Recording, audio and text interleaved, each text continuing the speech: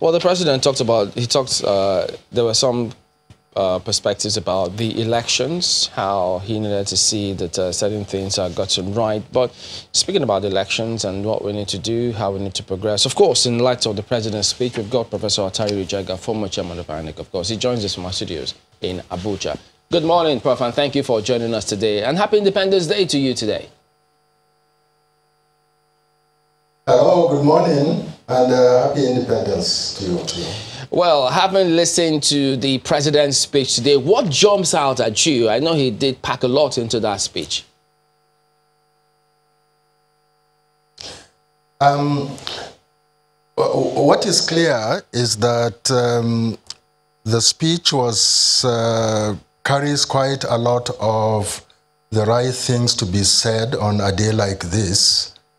Uh, but for me, the critical thing is not so much what is said, but how it is followed up.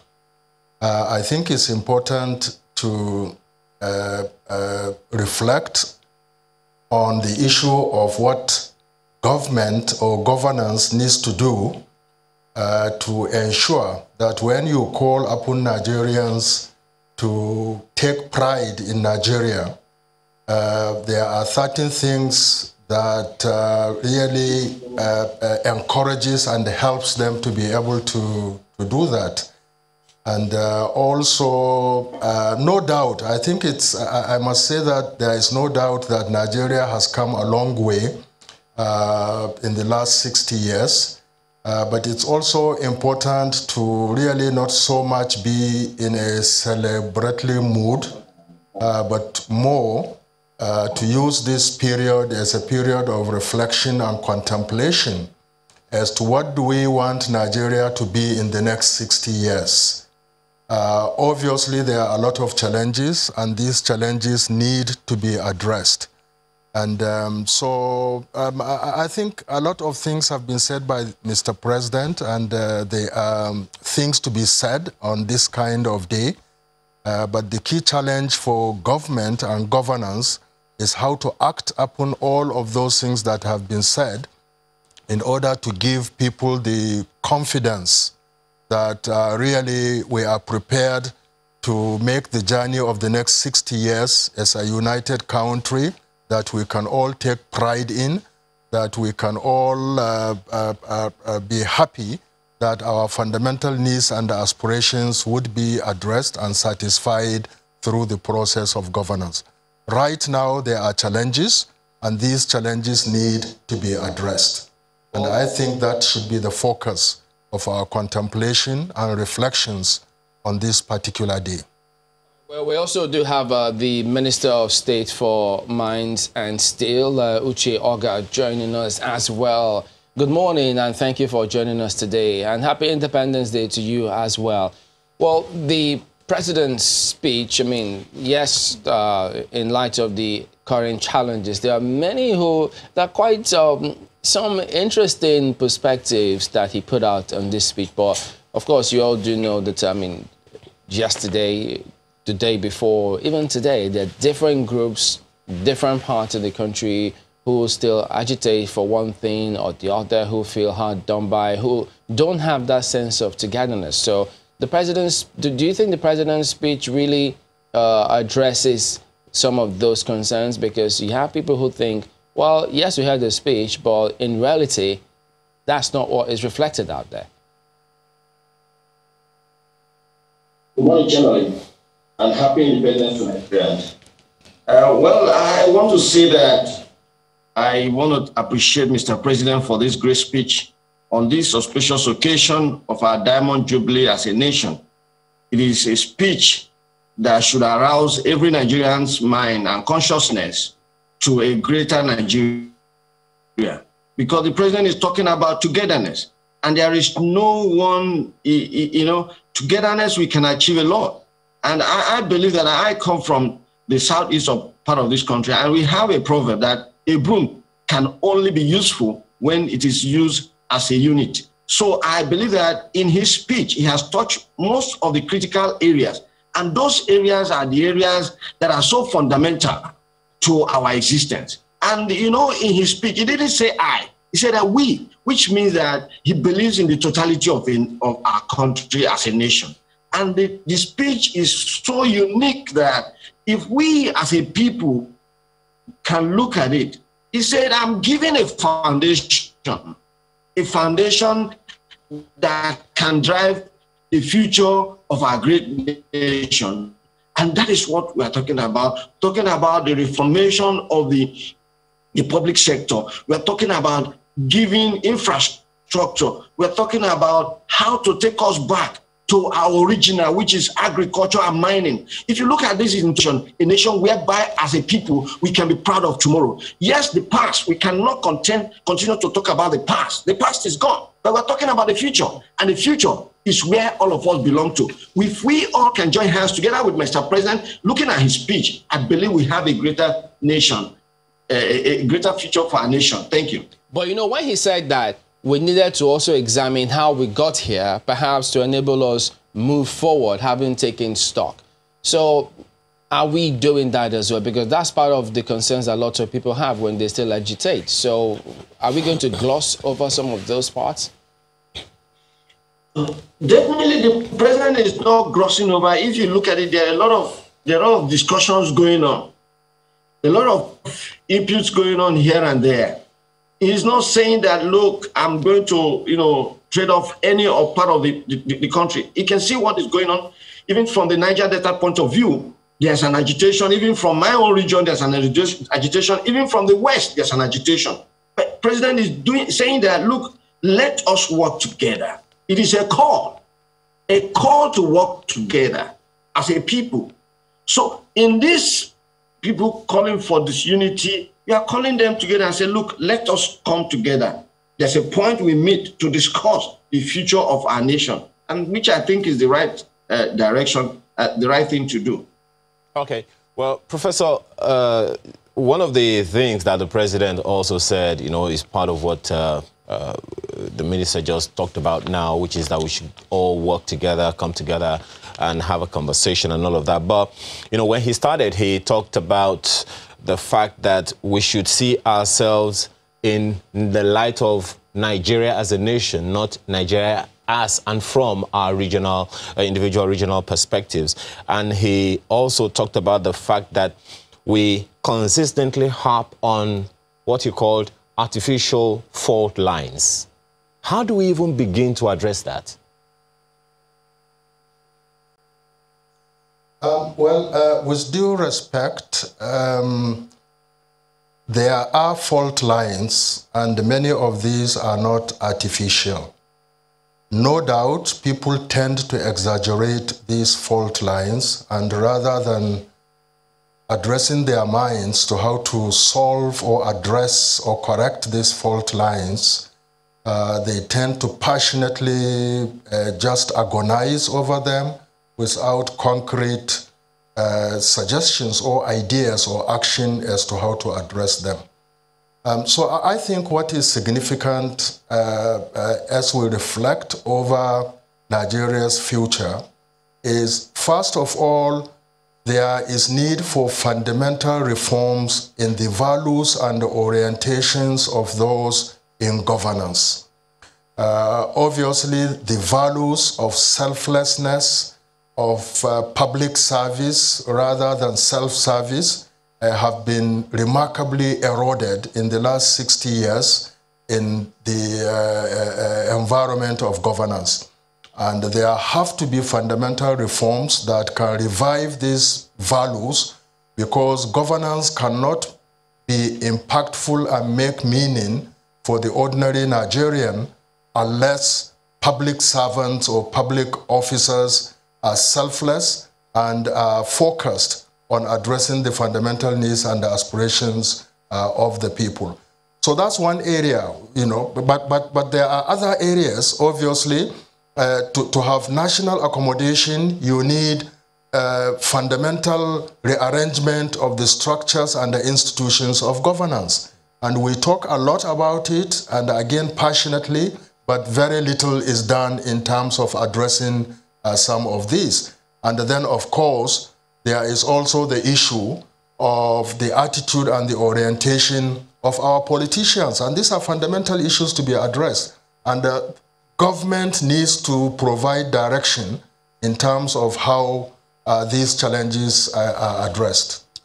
Perhaps the, the issue to you might want to also help us understand a little better is, I mean, before we even solve the problem, of course, you have said it that uh, there have been several things said, a lot of talk, a lot of conversations, but not so much has been done. Perhaps the issue to address first would be to even find out how did we get here so that even when we are able to address those issues, we don't retract. So, can you, do you have any idea how we got here and how to ensure we don't get back should we succeed in addressing the fault lines you talked about? Um, to my mind, we got here uh, primarily because, regrettably, uh, our country has been bedeviled by bad governance and poor leadership. Uh, I say regrettably because uh, uh, obviously, uh, historically, when we examine both the framework, the institutional framework, and the personalities that have occupied uh, governance, uh, it would seem to one as if a lot of attention has been devoted to contesting and getting into power without adequate preparation in terms of what to do when you get into power. And uh, therefore, uh, there has been a lot of wastefulness of resources in this country. There has been a lot of misplacement of priorities in this country. Just look at the education sector or the social services or health sector. You can understand what I mean in terms of wastefulness of resources and not being able to address the fundamental needs uh, uh and, and, particularly the, the key issues that can help develop a nation. We have not invested appropriately in education. Uh, the pandemic has shown how uh, uh, our health sector and social services sectors uh, are, are, really in very bad shape. Um, so, so and, and what caused this? I think what caused this historically is the way in which our governance system has evolved. Um, uh, uh, we've talked about corruption, we talk about insecurity, and a lot of it is attributable to the ways and manners by which those who found themselves in governance uh, have really not appropriately utilized the opportunities to address the needs of the people, to bring people together, to give people a sense of direction, and uh, to ensure that people actually uh, uh, uh, take pride in being Nigerians and also make appropriate sacrifices uh, for our country. So I think, to my mind, whereas there is need for value reorientation and structural and institutional reforms, fundamentally there is need to focus attention in terms of how we can make our governance system uh, to be characterized by selflessness, by uh, uh, evidence-based policies and planning and by rigorous pursuit and implementation of whatever policies are designed. A lot of things that are said remain on paper. Mm. And we, we seem to just move on. Today we say this, tomorrow we say that, and there is no actual targeted focus in terms of what is done with regards to implementation.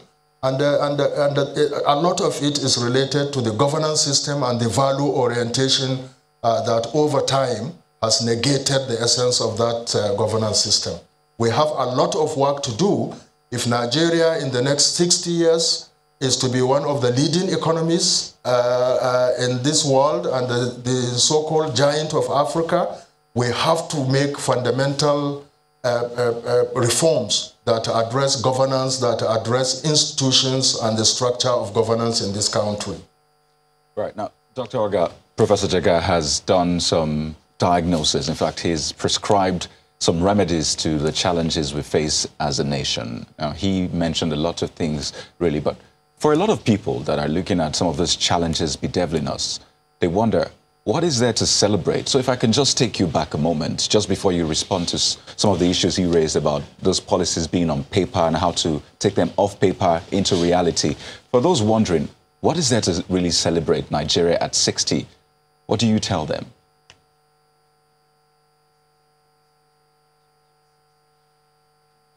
Thank you, my brother. First, let me let me say something which I've always said everywhere. What is lacking in Nigeria is for us to put up this Project Nigeria, for everyone to have Project Nigeria in mind. That we all together working united people. But you see, that is what is creating the problem. You are in an office. Somebody say, Oh, I'm from Yoruba land. This one say, I'm from Igbo land. This one, I'm from the north. Let us work to build a nation. And you can see what the president has done. He talked about foundation, the establishment of the national ethics and integrity policy. This will help us to moon a foundation of a nation.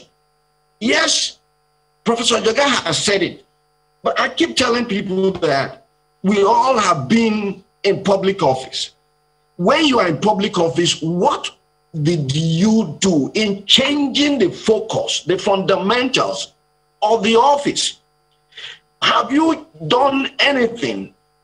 And for me, there's something to celebrate. We celebrate life, we celebrate togetherness, we celebrate that we are a united nation with diverse in terms of resources and minerals. If you look at it, God has created us at a perfect unity.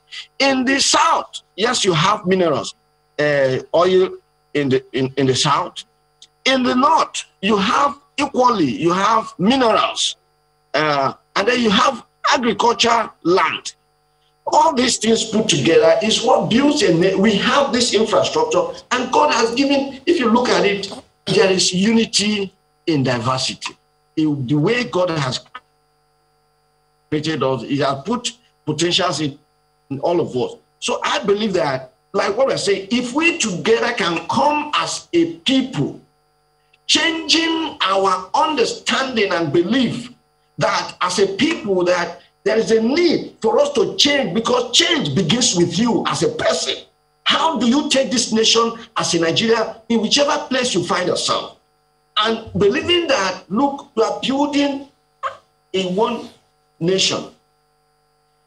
Forget about when it starts with you, when the change starts with you, you say, look, I have to do this, and I must do it for the interest of this nation. I think we are getting it right. The president didn't say, oh, it is an uhuru for us. But he's saying that there is hope. And that is hope is what I'm lending my voice to. That there is hope. If we can look at all this uh, uh, national ethics and integrity policy, things that we are doing, a lot of things are being done. The first time you see that a lot of things are critically done for the interest of this nation. As a leader, he's not saying I, he's saying that come, let us build a focused, a united, and entity called Nigeria for the interest of the future. If in our place they say, if it begins to be okay today, better. That's what we're saying. If it begins to be all right for us as a people, that it collectively, in whichever area you find yourself, start doing the right thing. I think there will be hope for Nigeria. And that is where I stand. Right. I, I believe you're saying what we should celebrate is that hope for a better future, if I yes. get you correctly. But another yes. thing uh, Professor Jega mentioned is the fact that one of the problems we've had is these policies, these things that you said are being done, stay on paper and they never come into reality. So how are we sure that these lofty ideas, these lofty policies that you have talked about don't remain on paper? Definitely that if you know this administration is not talking about paper it's talking about reality. it's talking about the actual thing. The president is walking the talk. We don't talk about, take, take for instance, we don't talk about infrastructure and we don't see it in real terms. When you talk about, okay, road, you say, okay, this road is done. Talk about this building is done. You talk about even a, a um, you say this one is done. We don't say things that we don't do. When you talk about, even when you talk about there's a review of the of the of the policies. It is going on. And what we are saying is that it is individual, we, we, all of us, all of us together, wherever you find yourself, public sector, private sector, in governance, in academics, do the right thing, walk the talk. And that is what President is asking Nigeria. Let all of us walk the talk. It is not just about talking. And whatever the president is saying, he's doing because he's so passionate. When you, if, if you listen to the speech, it's a speech that has passion. Someone who wants to put in his best for a nation he believes in. So I, I, I believe that within the few years, you can see what is going on critically from all the sectors. Today, before now, Nigerians never knew about mining. It's never heard of. But today you can see that first in the history of a nation, we've been able to present gold bar artisanally mined in Nigeria. And we are telling Nigeria that we have capacities, there are a lot of minerals in Nigeria. And these things are things we are, it's not just talking about it, you see that we are actualizing them. All so right. I believe that We'll, in uh, walking the talk, this we'll, government we'll is, this. Is, is doing the right thing by ensuring that All right, look, Dr. whatever Ogah, we say is we'll what return we are to doing. this in just a moment. If you could just hang on, we'll be back. Don't go away.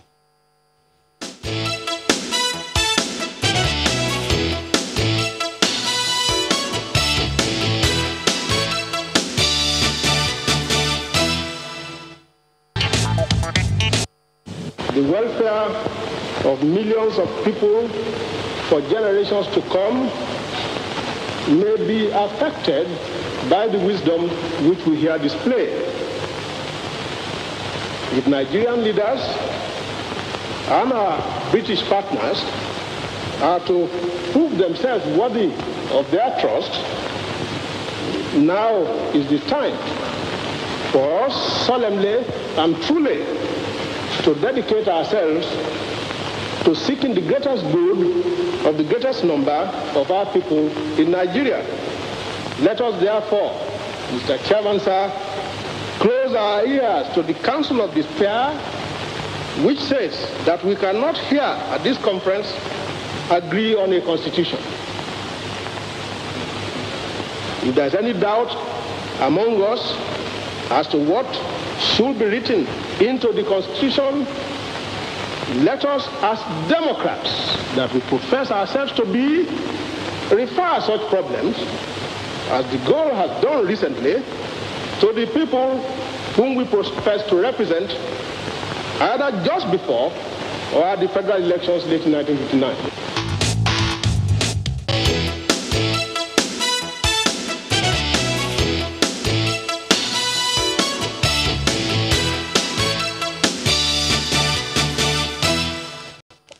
Welcome back to our special edition of Sunrise Daily. It's Independence Day. Our theme, Nigeria, Diamond in the Rough. What are those things you suggest can be done to ensure that things at least get a lot better?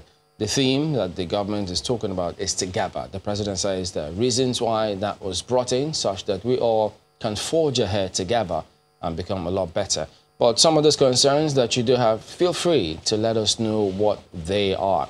But let's get to Professor Jega now. You did make some points about uh, being characterized by poor governance, poor leadership, and what we need to do to correct that. You talked about us putting in place a fundamental change.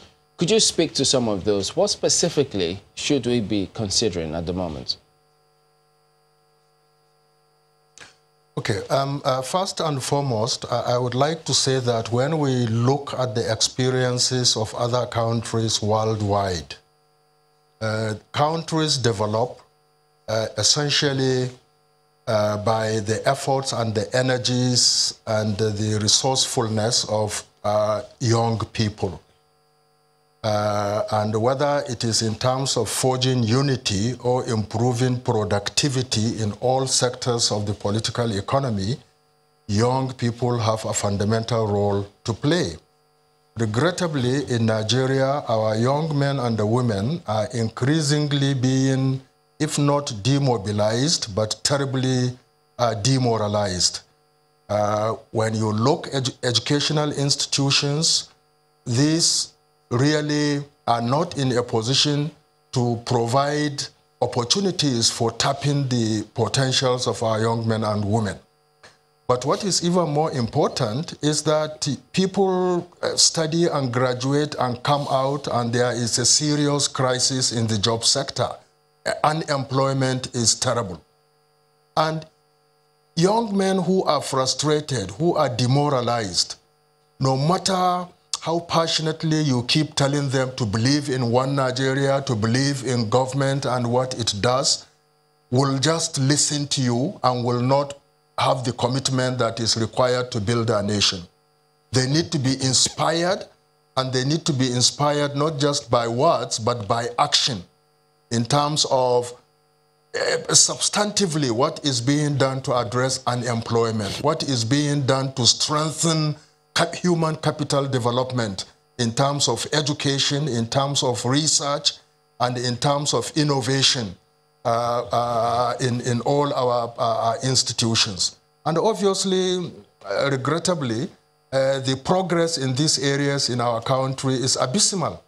So it's very, very important to, as I keep saying, uh, to say good things, yes, and the good things have been said in this very good speech by Mr. President, but I think it's important that Mr. President and those around him now begin to say, look, what can we do substantively in addition to whatever we have been doing in order to really have very actionable, substantive, and sustainable programs and policies that can help us to really get Nigerians to believe us and trust that we mean what we have said in turning things around in this country as I speak with you, given the level of poverty, given the level of unemployment, and given the passionate mobilization of religion and ethnicity, we have very serious challenges in terms of how we can get our young men and women to be passionately committed to Project Nigeria. And it's very important for what Nigeria becomes in the next 60 years uh, uh, uh, to be able to ensure that we galvanize our young men and women to trust the governance process, to trust our leaders, and to also join hands with them in order to move this country forward. So action, passionate, selfless action uh, really is very, very important.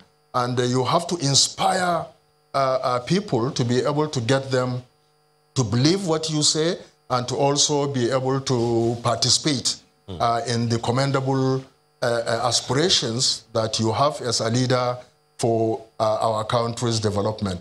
So, so really, I think we need to go beyond just agonizing over our problems. We need to say what needs to be done fundamentally in order to reposition our country.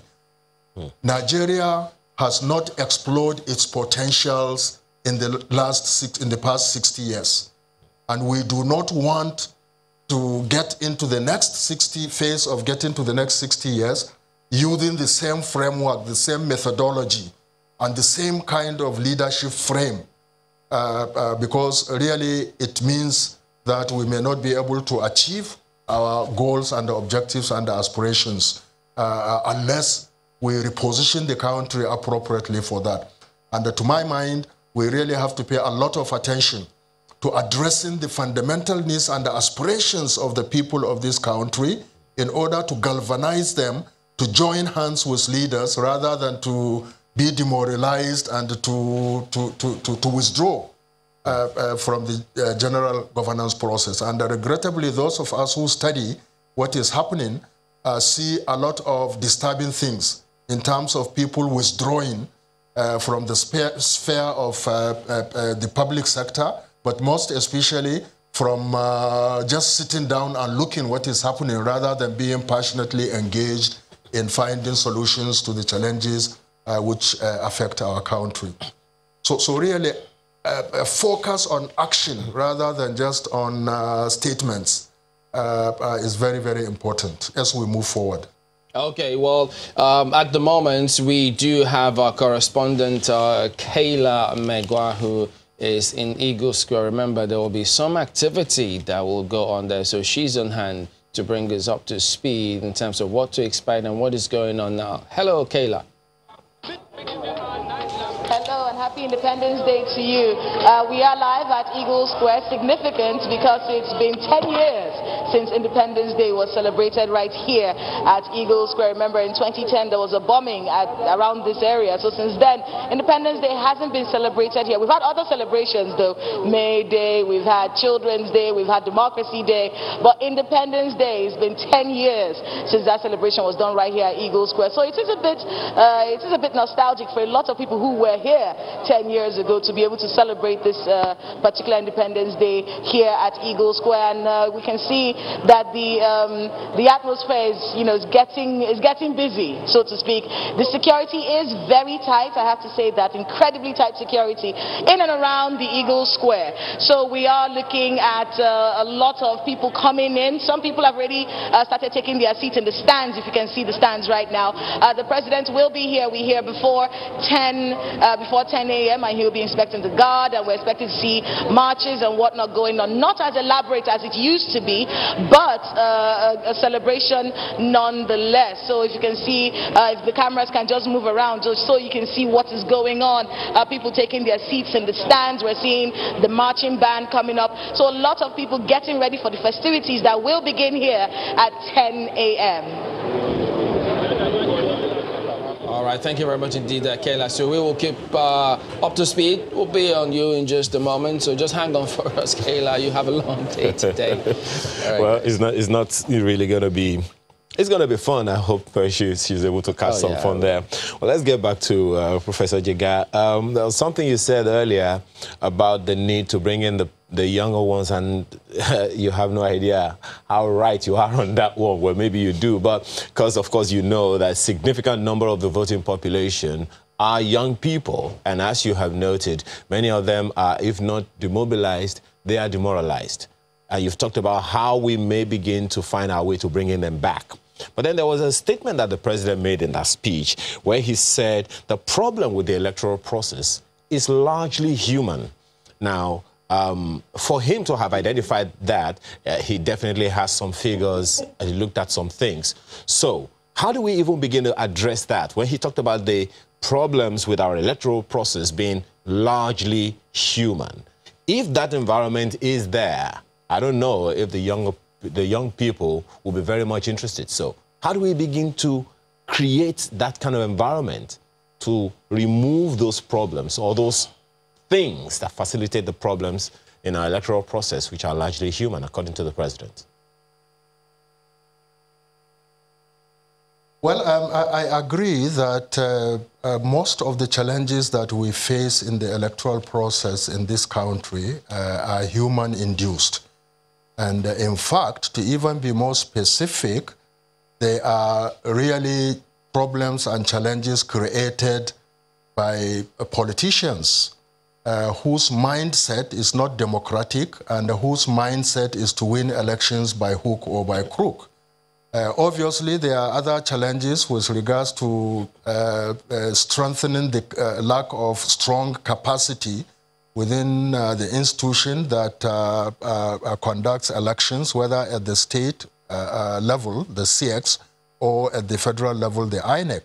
And I know that if you reflect Uh, um, uh, or uh, uh, examine what has happened in the last several years or so, there has been what I call positive incremental, incremental positive changes in terms of improving the capacity of particularly uh, the National Electoral Commission, INEC, uh, to be able to conduct elections. And increasingly, you are also seeing uh, the value addition in that competence and capacity being translated into better and more improved elections. Still, a lot needs to be done in that regard. But the major challenge is the attitude and the disposition of so-called politicians, both in the political and in the electoral uh, processes. We cannot build democracy without Democrats. And unfortunately, uh, most of our politicians do not have a democratic uh, uh, uh, uh um, predisposition in their engagement in the electoral process. You know, it's, it's either challenges of internal party democracy and the recruitment of candidates. You know, uh, when either godfathers or authoritarian uh, despots dominate political parties and try to do what they like, uh, which also creates instability in the whole party uh, uh, uh, formation and, and, the electoral contest processes. But most especially because also these so-called godfathers use money uh, or primordial uh, sentiments in terms of how they recruit people who uh, are placed to contest elections. So, so yes, it's human, but human attributable mostly to those who the prevailing tendency now in our political and electoral uh, processes. So we need to reform uh, the attitude and the mindset and the disposition of our so-called politicians. But we cannot just plead with them to do that. And that is why I, I consistently now keep saying that uh, people should not remain fence sitters and onlookers. The more people that get involved into the political and the electoral processes, with a better and a more democratic understanding and disposition in their engagement, perhaps the better our chances of reforming and therefore addressing uh, that human factor that undermines uh, the integrity of the electoral and political processes.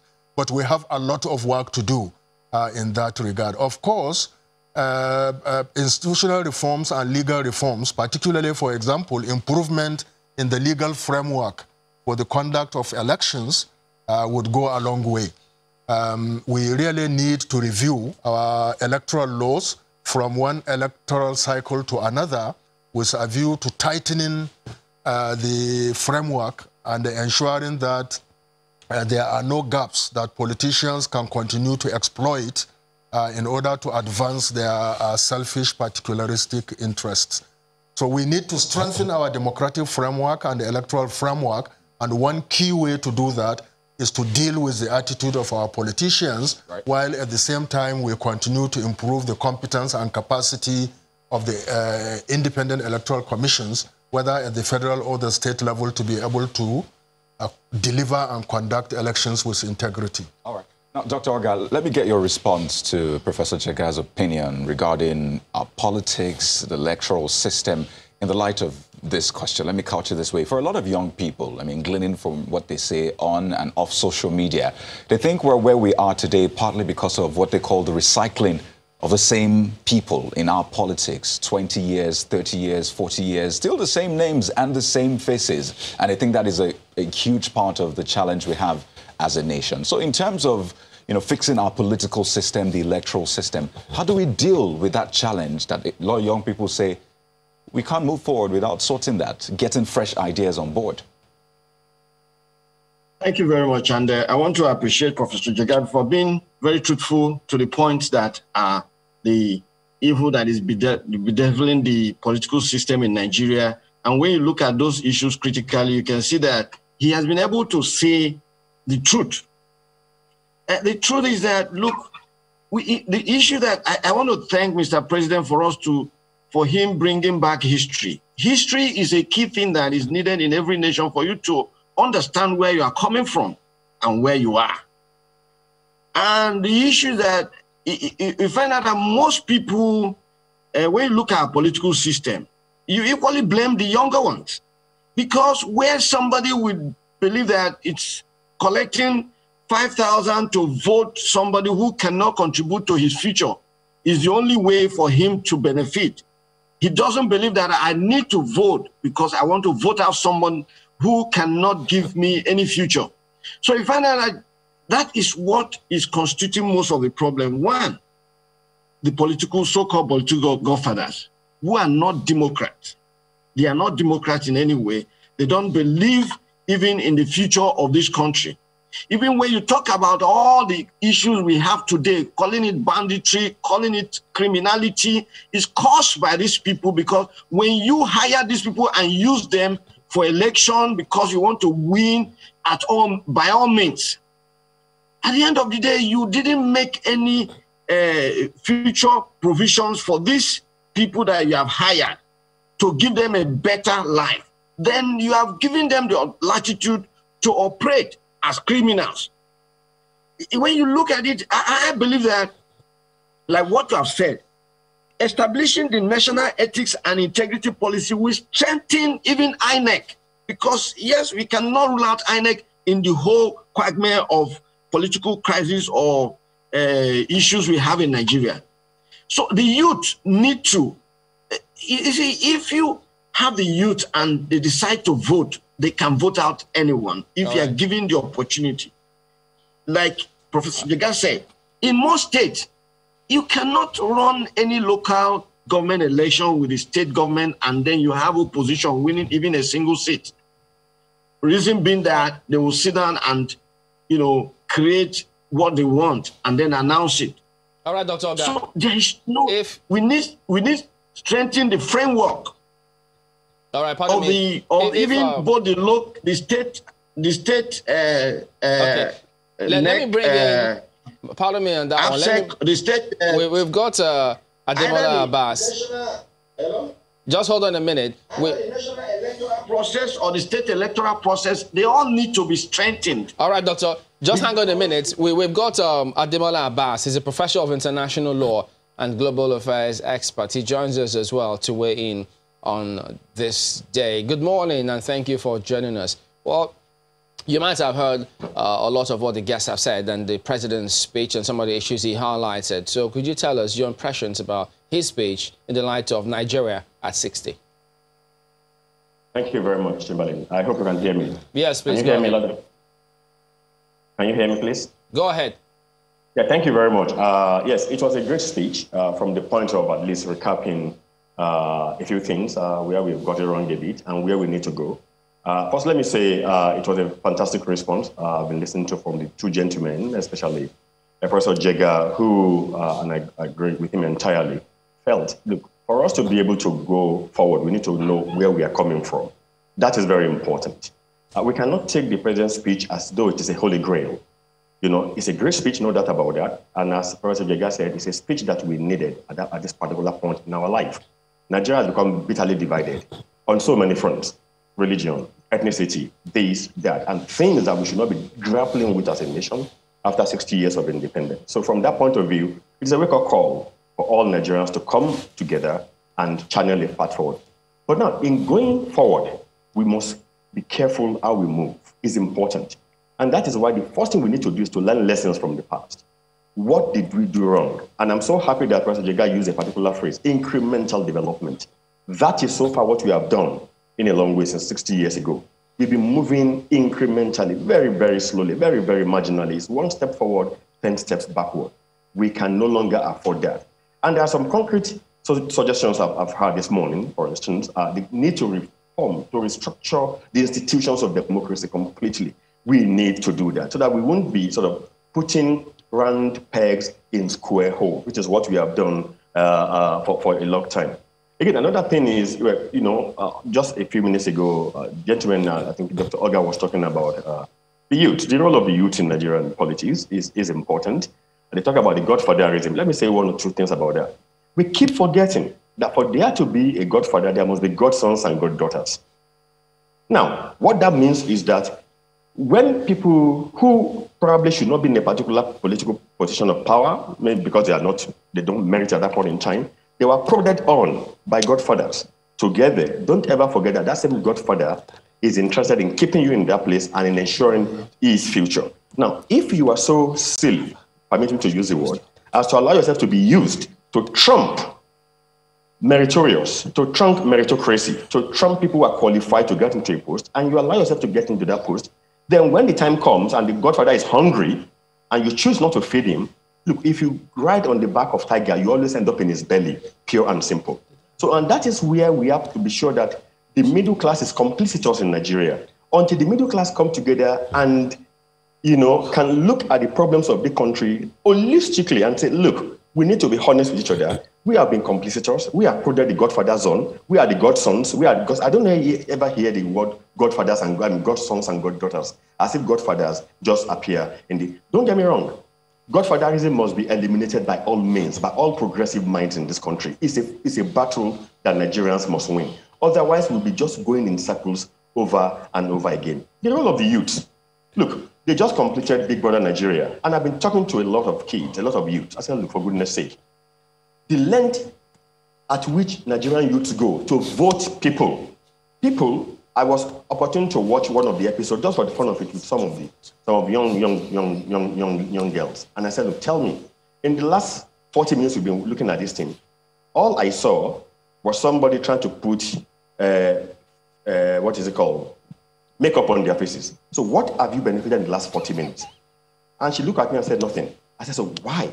But when election times come round, the same youth, 18, 20 year old, university undergraduate will say, oh, I don't care. I can't, I can't devote, one hour of my time to go and queue and vote for people who are going to impact your life, not just for eight years, but for the rest of your life. You haven't got that time. So there is need for massive reorientation of the youth. Make no mistake, the youth are learning from the, from the elders, so to say. You know, they're looking at those who are governing us and saying, what is in it for me? In any way, my votes don't count. But we can't give up on Nigeria. For me, that is the most important message from the president's speech today. We cannot give up on Nigeria. Look, yeah. Chamberlain and Ayo and the rest, I, have I've spent about 20 years of my life overseas. And I came back and I said, look, we need to be more, but, uh, more, more what, tolerant of our own heritage. Don't let's write our country off. All right, Today we look at the United States.